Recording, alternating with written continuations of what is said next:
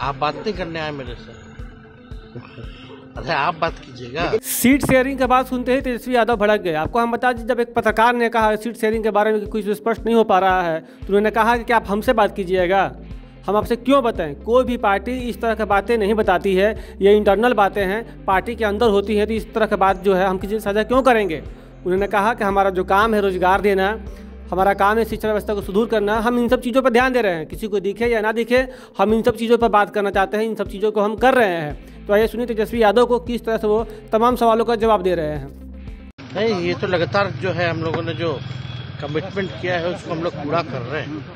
इससे पहले भी लगभग एक लाख बीस हज़ार लोगों को, शिक्षकों को हम लोगों ने मोदी जी के नेतृत्व में नियुक्ति पत्र वितरण किया, शिक्षकों की बहाली की। इसके बाद भी आप देखिएगा जो लोग कहा करते थे कि निर्जित शिक्षकों का जो है भगवान भी आ जाए तो कुछ नहीं होगा। तो महागठबंधन की सरकार ने फिर से नीतीश जी के नेतृत्व में हम लोगों ने उन सभी लोगों को राजकीय दर्जा का दिया है।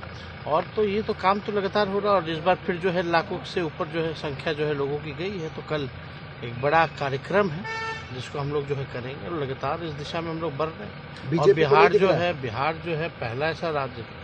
किसी को दिखे ना दिखे इससे कोई फ़र्क नहीं पड़ता। हम लोगों का ख्वाहिश है कि भाई जनता को इसका लाभ मिले क्वालिटी ऑफ़ एजुकेशन जो है वो बच्चों को मिले बच्चों का भविष्य जो है वो बेहतर हो पाए। तो इस काम में हम लोग सब लोग लगे हुए हैं। तेजस्वी जी सीट शेयरिंग को लेकर अभी तक बातें नहीं क्लियर हो पाई है। आप बात नहीं करने आए मेरे से। अरे आप बात कीजिएगा। लेकिन कल एक कल एक ट्वीट मध्य प्रदेश के सीएम सर बिहार आ रहे हैं, मोहन यादव है।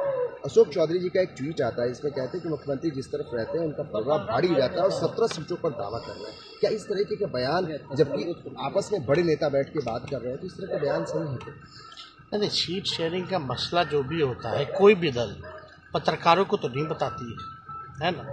तो हम क्या है, बताएँ? ये सब इंटरनल बात है, और पार्टी महागठबंधन जो है, हम लोग सब लोग काम करेंगे, नहीं करेंगे? सीट तो बटवे ना करेगा। मध्य प्रदेश के मुख्यमंत्री बिहार आ रहे हैं सर। यादव समाज को एक तरफ़ करने की बीजेपी कोशिश कर रही है कह रही है कि अब उनको यहाँ लाया जाएगा सम्मान दिया जाएगा। अरे भाई देश में किसी का भी अधिकार है कोई भी कहीं भी आ सकता है जा सकता है। तो आने जाने में क्या दिक्कत है?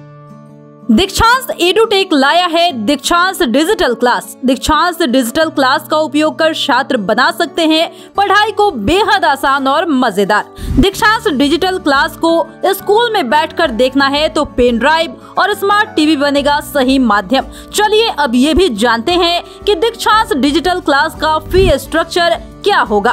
नर्सरी से लेकर यूकेजी के लिए सात हज़ार, नर्सरी से लेकर दूसरी कक्षा के लिए बारह हज़ार, नर्सरी से लेकर पाँचवी तक के लिए अठारह हज़ार, नर्सरी से लेकर आठवीं तक के लिए चौबीस हज़ार, नर्सरी से लेकर दसवीं तक के लिए तीस हज़ार। अगर आपको डेमो करना है तो उसके लिए आप दीक्षांत डिजिटल क्लास के यूट्यूब चैनल को विज़िट कर सकते हैं।